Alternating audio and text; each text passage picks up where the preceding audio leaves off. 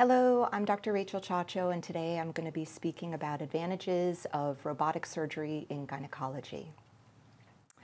I am local. I graduated from Spanish River High School and went to Florida State University.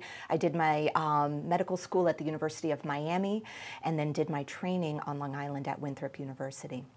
I'm a fellow of the American College of OBGYN since 2004, and I have a focus in minimally invasive surgery.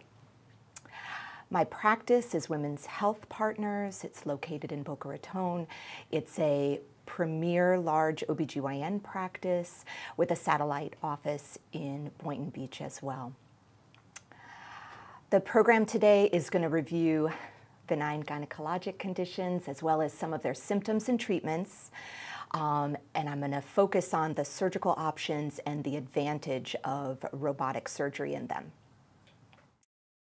So the main conditions that I generally treat are fibroids and pelvic masses, as well as abnormal bleeding, endometriosis, and pelvic pain. This here is a picture of normal anatomy. One of the more common things is uh, fibroid tumors of the uterus. Um, you can see different types of them here. They are benign tumors that vary in size and location, and that alone will actually change how they present to the patient and what they come in for the vast majority of women will actually experience at least one fibroid, whether they are symptomatic or not, by the time they turn 50 and enter menopause. There are lots of symptoms that go into why patients present to me for fibroids.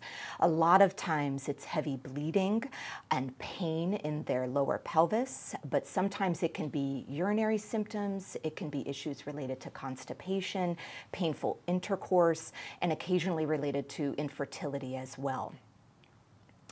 This here is a picture of um, several different types of fibroids. You can see this one in the front is going to put a lot of pressure on the patient's bladder, which is right in front there and was definitely one of the reasons she presented to me. There are lots of um, management options due to how frequently they present to gynecologists for fibroids. A lot of them are conservative, and we do try to exhaust those opportunities first. Um, most of them are minimally symptomatic, and patients just continue to have the fibroids present with no treatment. There are also several hormonal interventions that we can use that are highly effective in the majority of treatment um, for these conditions. There's the birth control pill, implants, and a hormonal IUD is very effective in most patients. There are some additional treatments that can actually shrink specifically the fibroid um, and may help patients cover the gap until they get to menopause. Um, but ultimately, if the symptoms are significant enough, we do start to talk about surgical options for the patient. Depending on location, we may be able to resect them through um, the vagina into uh, a hysteroscopic approach. Um, we may remove the fibroid itself and potentially consider um, hysterectomy or removal of the uterus, depending not only on their symptoms, but also their desire for childbearing. Here is um, a picture of a uterus with a fibroid in the posterior aspect in the upper uh, left corner there, and then removal of the fibroid in the picture on the upper right and lower left, and then the repair. And you can see that looks back like, much more like that normal picture that we saw at the beginning of the presentation. Endometriosis is a growth of endometrial tissue that is outside the uterus. It normally, endometrial tissue is within the uterus. That's what creates your menstrual flow. But when it is outside, it can create a lot of symptoms with painful periods, both before and during, um, as well as chronic pelvic pain, again, painful bowel movements, particularly focused around the menstrual cycle pain during and after intercourse, as well as uh, infertility.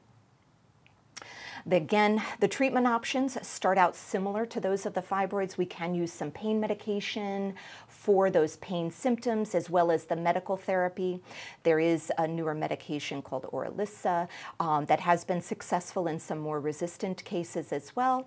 And then we start talking about surgical um, options, including both resection, which is highly effective in reducing painful um, syndromes, as well as potentially removal of the uterus and ovaries, depending on the source of pain.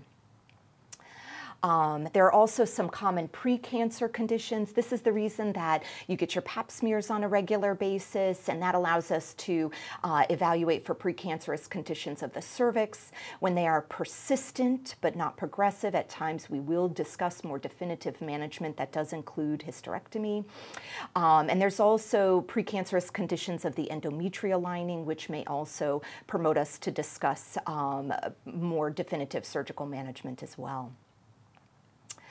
Um, the uh, procedures are, are, listed here, but it includes not only re removal of a portion of the cervix, but again, more definitive management with hysterectomy if it's persistent, um, with the cervical dysplasia. And when we talk about endometrial, um, we want to consider removal of the uterus, which is the source of that.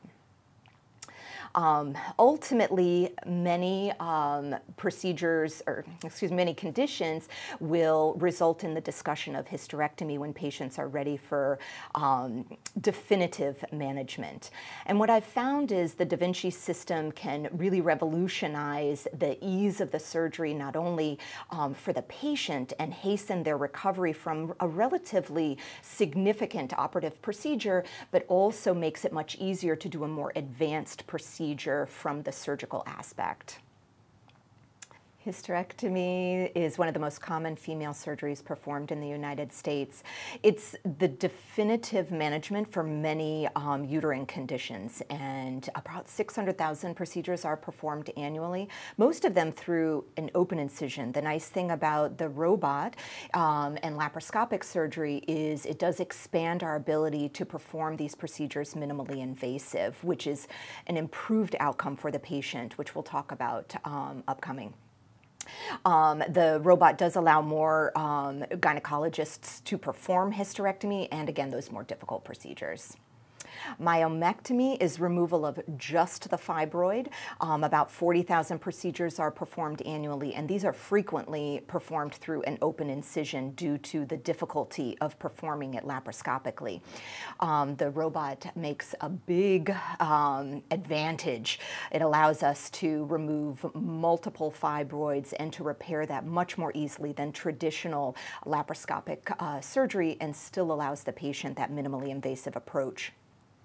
It's particularly helpful when the patient wants to preserve um, their fertility. So minimally invasive surgery does reduce the patient's blood loss. You get many fewer complications, a much shorter hospital stay, and a, um, a huge advantage in recovery and scarring.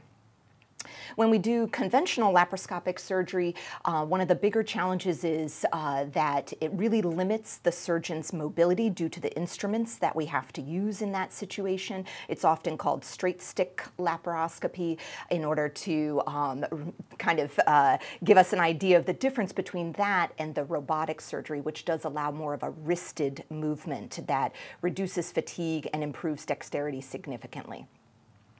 So this is a, a picture of the robot. It's state-of-the-art uh, robotic technology that creates a 3D visual image for the surgeon at the console.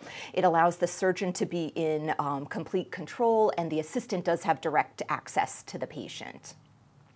So this gives you an idea of those wristed uh, uh, movements that are enabled by these small instruments that we use within um, the abdomen during surgery, but it allows for you to operate with much more dexterity and precision, which is a huge advantage, particularly more complicated procedures. This gives you an idea of how small these devices are, um, but they fit through small dime-sized laparoscopic incisions, which are much easier to recover from. Um, so again, the Da Vinci surgery um, allows for improved visualization, better instrumentation and control, improved uh, dexterity, and faster suturing, which um, results in a quicker procedure and the patient is in and out of the operating room more quickly. So this um, gives you an idea of the difference in the incisions that we use traditionally. On uh, the left, you're going to have that long vertical incision, and then uh, the transverse incision is used in a lot of gynecologic surgery, um, but the Da Vinci allows us to use three to five small incisions um, in order to access, and the recovery is much quicker as a result of that. Um, so obviously I just spoke about incision size, that definitely is improved, but the pain lasts weeks, or excuse me, lasts days as opposed to weeks with traditional surgery. The vast majority of my patients go home day of surgery. They don't even stay a single night. They are well enough to go home. Um, the recovery is generally approximately one to two weeks, occasionally a little longer um, for more extensive procedures, but it's nothing like that four to six week recovery that we used to have with open surgery and you return to normal activity within days as opposed to weeks without exercise or um, moving around with comfort. Um, so again, that shorter hospital stay, minimal pain and scarring, and that quicker return to recovery is a big difference for these procedures. The other thing is the um, ability to do more and more myomectomies, again, removal of that fibroid only um, through these small incisions is huge. Um, it, we are able to do that much more with the robot surgery as opposed to traditional laparoscopy um, and lets you get back to normal much more quickly. Um, for the surgeon, you have the benefit of less fatigue um, and it allows you to do more complex cases. And I think this is important for patients to understand because if you're able to operate for a longer period of time in your lifetime, you get that expertise as um, people continue to operate in time. This is also a procedure that's much safer for our obese patients and allows us to perform a more complicated surgery on them with small incisions as well.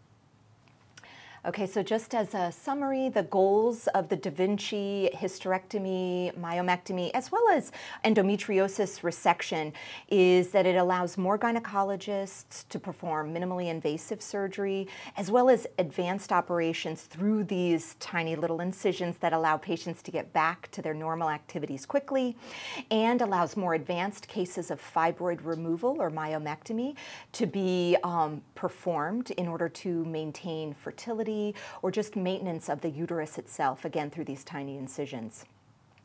So um, hysterectomy candidates can expect a shorter stay in the hospital, minimal pain and recovery, um, and excuse me, minimal pain and scarring, and quicker recovery to those normal activities. So I just wanted to review a few frequently asked questions that I get. Um, one of the big ones is when can I return to normal activity? And as long as we're able to maintain those tiny little incisions, usually within one to two weeks, patients are right back to their normal level of activity. Um, sexual relations, that really varies by procedure and needs to be discussed specifically with um, your surgeon.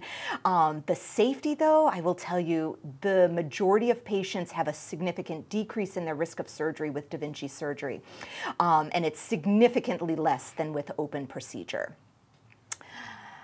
And if you or somebody you care about has a gynecological condition and would like to discuss it, feel free to contact my office for an evaluation.